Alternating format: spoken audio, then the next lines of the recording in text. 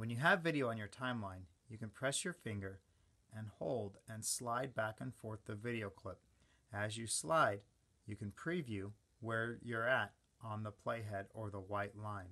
You can also press the triangle to play through and see the video.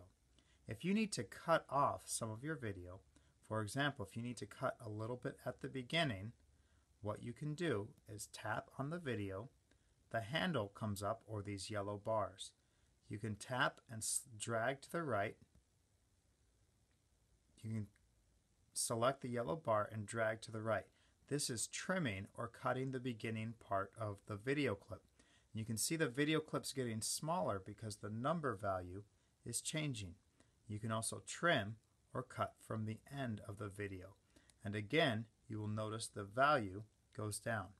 If you need to zoom in to see more detail on your video, you can take your fingers and slide them apart and you will zoom in.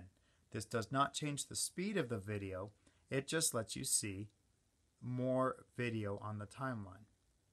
If you pinch your fingers together, you can see the entire video, but you're zooming out of the timeline.